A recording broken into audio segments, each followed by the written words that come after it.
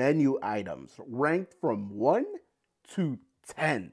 At number 1, fish and chips. Number 2, buffalo wings. At number 3, steak taco. Okay, at number 4, Caesar salad.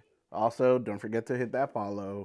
At number 5, chicken and biscuit.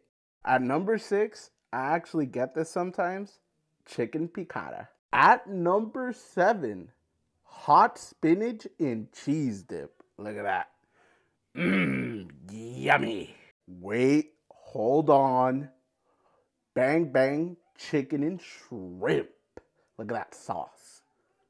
Ooh. Number nine, fried mac and cheese balls. The best Cheesecake Factory menu item of all time brown bread.